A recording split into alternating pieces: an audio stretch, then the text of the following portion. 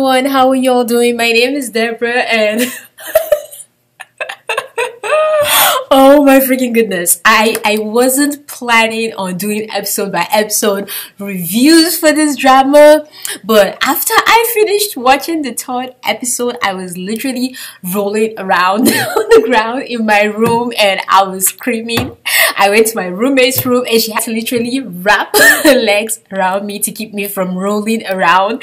And all my friends haven't caught up on the third episode, so I had no one to discuss it with because they don't want spoilers and I don't want to spoil it for them. So I had to come make a review. not really a review, but a Tearama on this.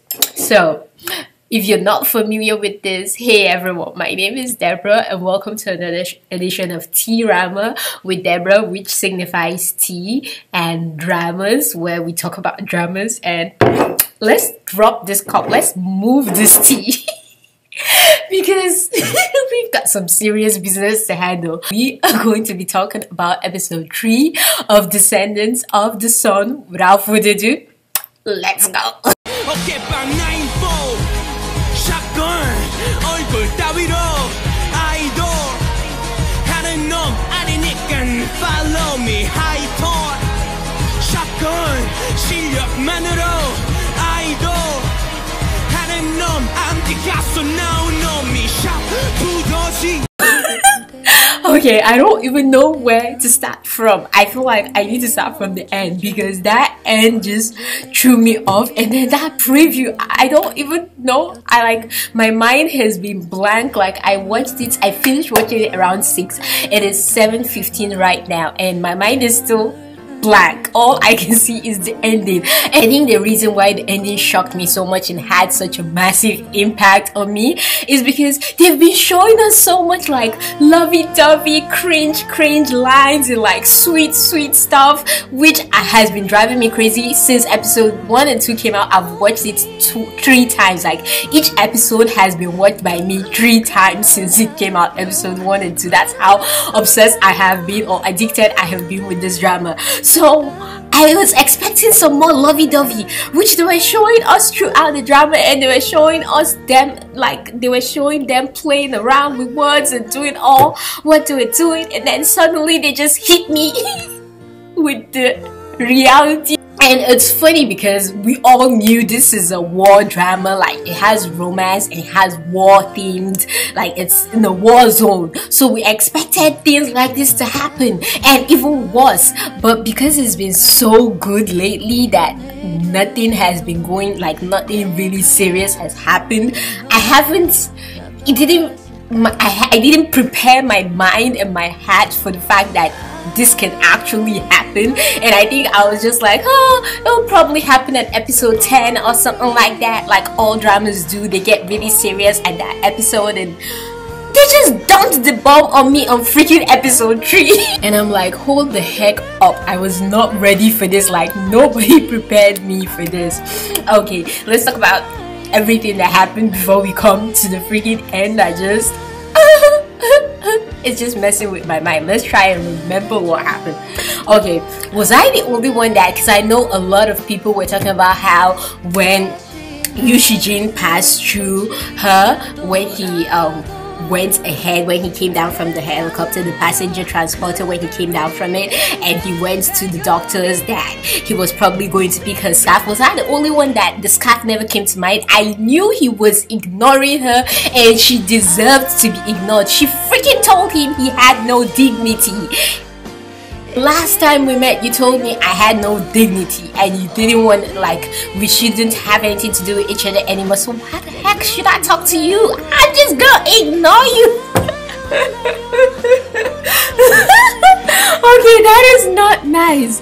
But I was totally on his team. So I was so freaking happy when it was him that he went to go take this calf, but he was actually ignoring her before he noticed this calf's existence. And then he picked it up and took it to her and he still didn't say a word to her. He just handed it over to her and he went his own way. And then was I the only one that was really happy when he ignored her again for the second time when her, she was with his shoe and she's like, is he just ignoring me, pretending he didn't see me, or is he, he is ignoring you! What kind of question is that?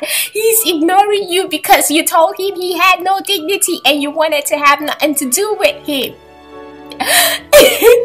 anyway, Song Hye Kyo got on my nerves a little bit in this episode, but um I was so freaking happy that he ignored her. I'm so sorry, but I enjoyed it. I dwelled in that moment and I loved every second of it. You may not have liked it, but I liked it. But I like how at the end of the day, he let it go and he came over to her and you know my favorite scene? My favorite scene was one of my favorite scenes, not my favorite scene, because my favorite season, weird enough, was the ending. But one of my favorite scenes was when he stood with her and he's like, "Well, if we're gonna die, let's die together." Was I the only one that already knew he was just playing with her and he was lying to her like right from the start? But I like how he went to seek her out even though he had ignored her previously and all. But he took it upon himself. He was a bigger person and he went to go seek her out and he um talked to her and tried to play with her even though she didn't enjoy his joke which i understand because hey their lives were at possibly at risk and he scared the crap out of her because she was scared of losing her life and losing the life of this guy that she's attracted to too and stuff. So I understand how scared she was and why she was mad at him but I really thoroughly enjoyed that scene.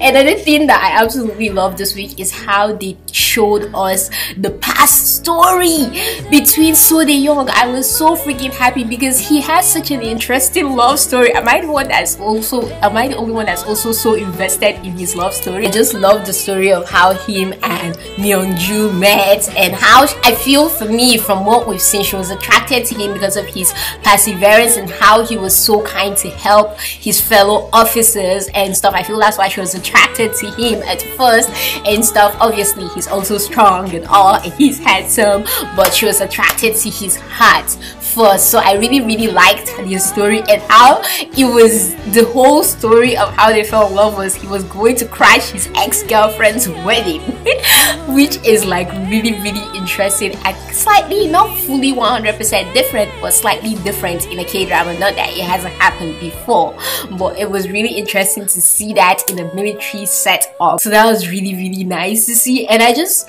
was I the only one that was slightly surprised and not surprised too when we found out that her father was interested in Yu Shijin being her partner and her future husband and etc because it was so obvious we had to have a second we had to have had and have a second female lead. It just didn't make sense that there wasn't a second female lead so like not in terms of oh a second female lead that's with a second male lead but a second female lead that is somehow connected to the male lead. So it was really interesting and it was um not surprising when I found out that her dad wanted to hook them up. But I like that she has no interest whatsoever in him and she's just interested in the friend. So at least that there is settled. And we know she's crazy about So De Young. So there's no hope of her and Yu Shijin ever being together at all. And I like how even though the dad is trying to put Yu Shijin and her together, it's not affecting the relationship of Yu Shijin and So De Young. They're just acting like guys who are bigger than all that and they're still really tight and stuff and they know that they can never like each other's girls at all which brings me to how So De Young lied to her about the Wi-Fi situation saying she can't get the military Wi-Fi information and she has to go to town and ride with Sung Ki I just thought that was freaking awesome because he's also shipping them like us I like how they kind of have each other's backs the guys how Yu Shijin helps him when it comes to the girl that he likes and he helps Yu Shijin when it comes to her, his old girlfriends or girl he's interested in because they're not really dating yet, even though we all know they're gonna date eventually. Also, on So De Young leaving the camp and being sent somewhere else, I really like to see how they're gonna work that out because we all know he's going to have to stay. Like the story between them has to continue. So except maybe he leaves and then he comes back or something. Well, I don't see him leaving. I see him staying. I'm really really curious like i can't figure out how the heck he's they're going to allow him to stay is it this situation that's gonna make him stay what's going to lead to him staying and finally meeting his ex-girlfriend who is still kind of his current girlfriend and all. But yeah i love that she hasn't given up on him and she understands his situation and she's still going after him and she's still fighting for their love. That's something i love about so young's relationship how the girl's still fighting even though he really really can't and she still wants her to continue fighting and it's like she kind of knows this guy still wants me to continue fighting because he's kind of slightly helpless. So i have the power. After all i am my dad's daughter and I am higher in rank so I can pull my own strings and pull at my dad and make this work if I want this to work and I am not giving up. So I just love that that that's happening in their relationship. And it was so funny when she bought stuff for everyone but she didn't buy stuff for his best friend Yu Shijin that was really really hilarious because which makes sense now because when I first watched it before we found out the whole story of how they're connected my first thought was why the heck did she buy something for Yu Shijin is she just mad at him because she's mad at her boyfriend. But then now I realize she probably did not buy anything for Shijin because this is the guy my dad wants me to marry. So why the heck should I buy him anything? so that makes sense right now. But yeah, I really really loved that about this episode that they showed us a little bit uh, into the past of their relationship and what happened. I'd like to know more though about how Yu Shijin finally met So De Young and how their relationship progressed to how it is now. But that was an interesting little tidbit they gave us. And I love that they gave us that little insight into their past. Now onto the conversation that So De Young and Kang Mo Yeon had about the whole, oh, how have you been and what have you been up to? And she's like, I think you got something wrong, boo. I don't do that anymore. I didn't have the intention of coming here. I was forced here. I'm like, can someone please shut her up? I was so over. That was the moment that was actually, I had to like, I paused it and I'm like, wait, why is she always starting drama when there is no need for drama though? Like, what is wrong with you? Take a chill pill. It is not that serious. Why are you getting all riled up? Which was kind of funny because when they were in the car and he had his little jealous second, jealousy second when he talked to her about the guy who he she met after him that wasn't really a good guy and how he was kind of irritated.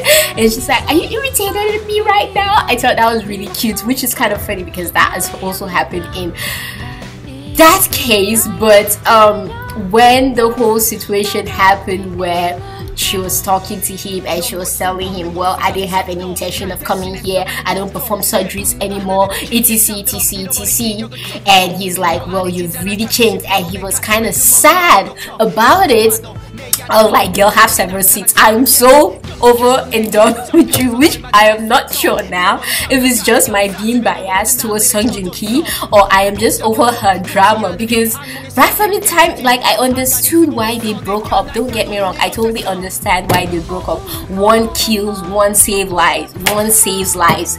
But now you are also not saving lives and you're not really working on your dignity. So why you're all stuck up and acting the way you're acting towards him, but hey, that might just be me being biased towards you, Shiji. and not really thinking straight, talking right now. But I didn't really like that scene, and I'm like, seriously, girl, you need to stop talking right now. Like, why the heck are you getting mad? Why are you acting up and stuff? What is your problem? And all, which which is really interesting with relationships and communications between the male and the female sexes because everything can be so simple, but somehow we just end up making it all more complicated than it should be. But um after that we go to the ending which at ending I just literally sat down and I didn't know what to do with myself. But immediately he got that order and he was going to have we heard that he was going to have to put her Kang Moyon under the bus. I knew he wasn't going to take that order, like it was freaking obvious. And if you didn't know at that moment that he wasn't going to take that order, the look that So Young gave him was enough for you to know that this guy is not going to take this order. So when he just didn't take that order and he just brought out the gun. I'm like, crap. And then that preview where we see that he's going to lose his post, and I'm like, all this for her? she won't even appreciate it. I'm not sure if this is just jealous Deborah here talking, but I'm not sure. Why? Why?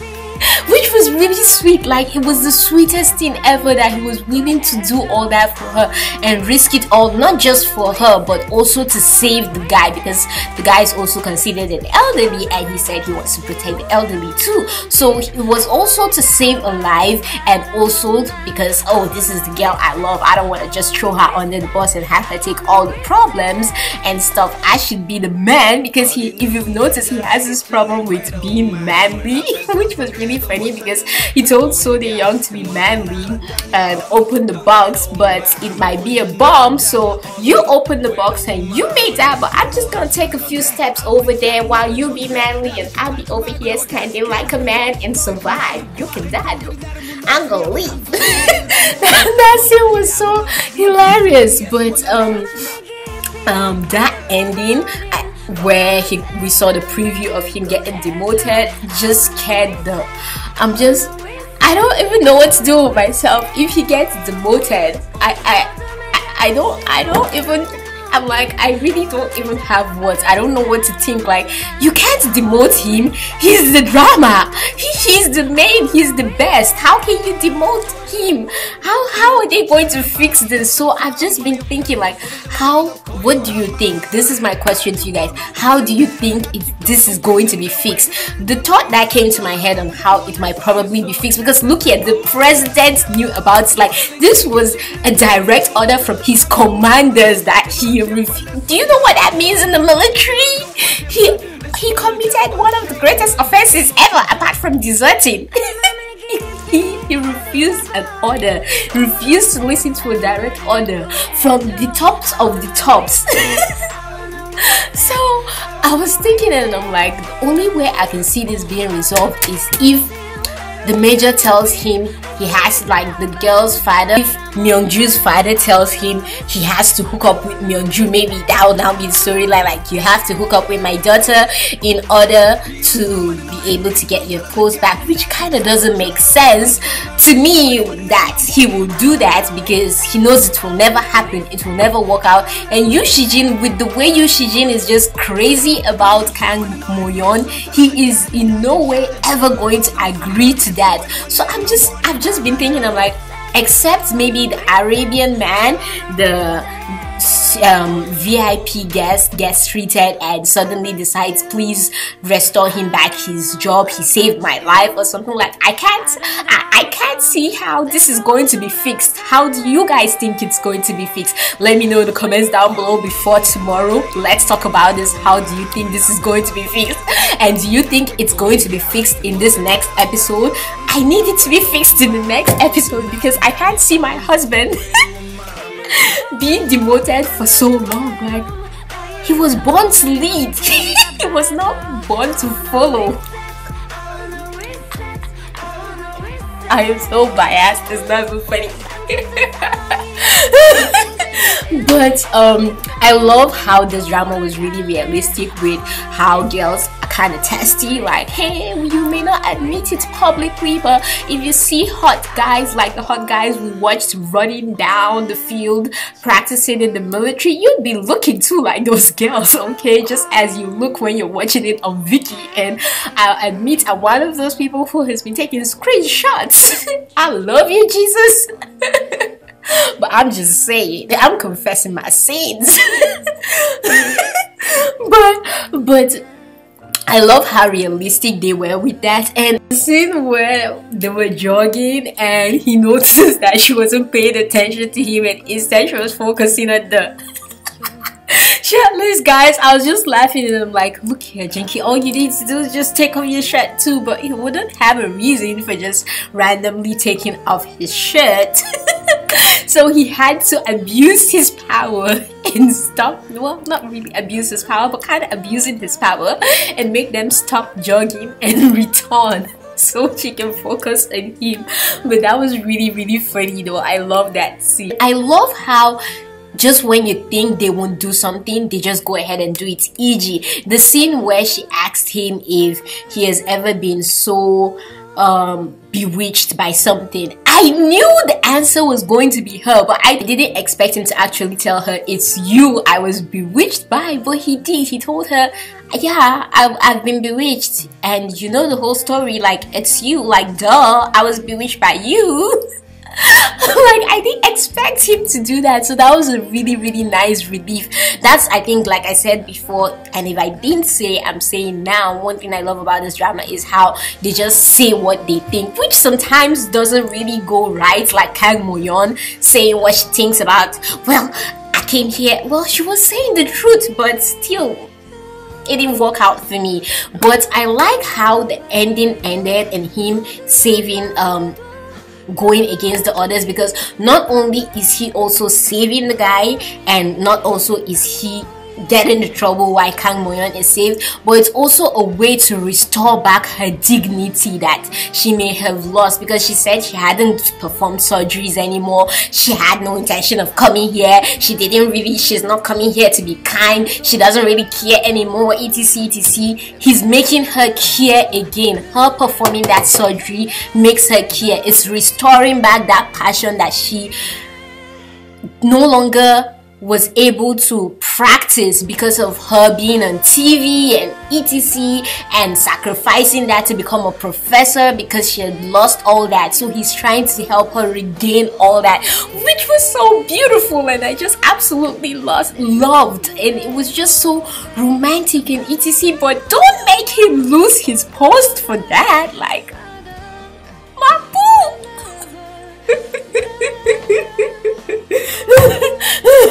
so yeah Onyu, um, Onyu, Onyu, Onyu. I hope we see some character developments with Onyu because episode 3 has just shown us what kind of person Onyu is and he really needs some character development and we, we are for sure going to see that rich boy, che boy chaebol thinking of oh don't touch me with your dirty hands. I'm not eating the same food with everyone. Oh my goodness i can't wait for all that to be washed out of his head because we definitely know all that is gonna happen. So i can't wait for all that to be washed out of his head and for him to actually become stronger and not be bothered about all those things and all those little things that don't really matter in life because there's more that matters than that. There are worse things that can happen, which he is about to see. but yeah i'm really excited to see how his character develops and matures and gets better. And hopefully they do not kill his character off because sending a guy who has a girlfriend waiting back home that's pregnant and you're about to get married to to a war zone is like recipe for death. It's like saying i'm sending you to death. So i really hope they don't kill his character and his character survives. Today's t-rama was just scattered and all over the place. I'm gonna find a way to edit this to make sense because like I said my mind is really black right now. All I can see is that ending. So I'm not really sure what I'm saying right now. When I'm editing it I'll realize what the heck I'm saying.